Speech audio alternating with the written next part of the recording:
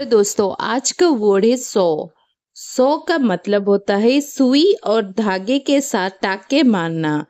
English meaning है to join two pieces of cloth together by putting thread through them with a needle इसका हिंदी मतलब होता है सिलना।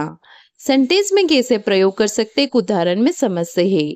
My grandmother taught me to sew इसका मतलब है मेरी दादी ने मुझे सिलाई करना सिखाया।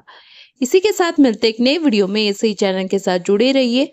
हर दिन नए नए वोट सीखते रहिए। चैनल को लाइक, शेयर, सब्सक्राइब कीजिए। धन्यवाद।